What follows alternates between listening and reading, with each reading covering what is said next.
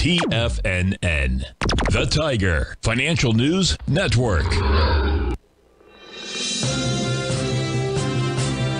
TFNN.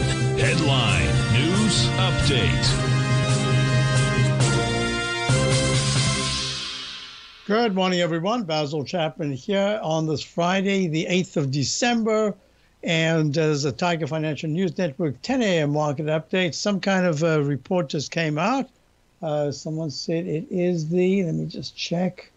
It is the preliminary UOM Consumer Sentiment Report in two minutes. Yep, it came out. And the market's responding quite well. Dow's up 90 at 36,205.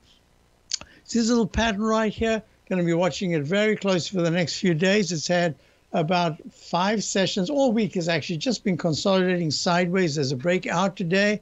Uh, does it turn down later? This is the news that would have really been the negative to start a move for the rest of the day. So we'll see how we respond by 10:20 this morning. About another 20 minutes. Looking at the S&P, let's go there quickly. S&P is up. Uh, 8 at 45.93. 45.99.39 was the high. Uh, 1, 2, 3, 4, 5. That was, I think, last Friday. So now we're looking at the QQQ at NDX 100. Was a little bit weak. Now it's up 5 cents at 390.49. The IWM, which was holding gains earlier, is making a little bit more of a gain. It's up 167 to 187.06. Is some kind of rotation going on into the small caps? We'll look at that when I get back from my Tiger Technicians Hour.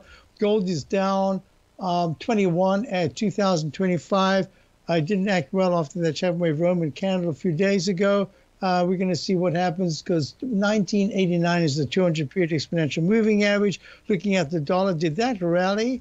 Um, a little bit. It's up 41 ticks at 104.08. I'm a little behind, so maybe that's uh, on that contract. Maybe we'll see where it goes. But the 200 period moving average is just right here. That's resistance. Bonds. Let's see what bonds are doing. bonds are down over a point, one point uh, one uh, and five thirty seconds, 119 and two. I think this peak D in the uh, the peak D in the daily chart.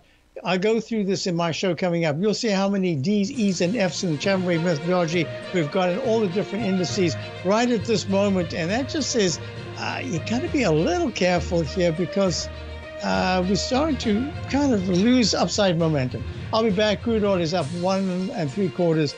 Basil Chapman, check out my opening call daily newsletter. See you in a month.